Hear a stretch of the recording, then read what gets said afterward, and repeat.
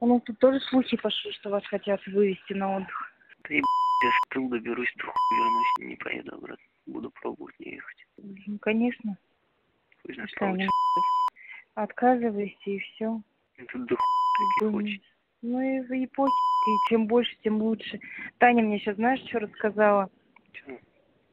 Типа со стороны Белгорода, их же много наших, там и кяхты, и кто-то еще, и тальцы, видимо. Мгм. Короче, их там много-много человек написали рапорта.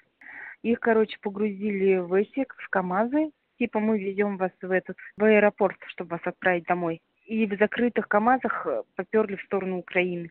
Они по дороге чихнули, начали прям выпрыгивать с машин. Потому что впереди колонны шел танк, и сзади колонны шел танк.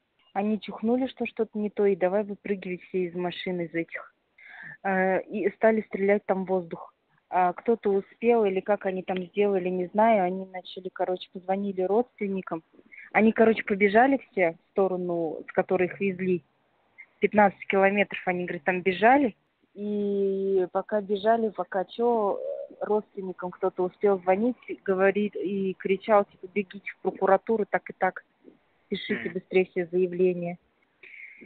И, короче, их там держали. Здесь, она, говорит, побежала в прокуратуру, здесь уже много народу, потому что парни все позвонить успели. И здесь подняли бучу, короче, начали давай это все писать. И их там держали несколько дней как пленных. Ну, как пленных в туалет, под конвоем, кушать под конвоем, вот так вот. Ну, а когда, короче, пошла шумиха, начали разбираться, они просто сказали, мы повезли их ремонт, в ремонтные работы проводить, расчистку типа ЛНР.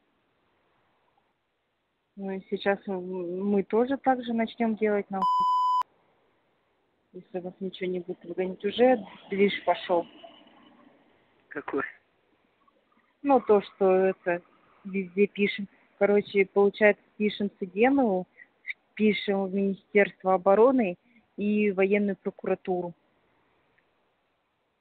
Письма. Че будет толк, думаешь? Знает. Ну, хотя бы начали что-то делать. Не просто на ровном месте сидеть и ждать.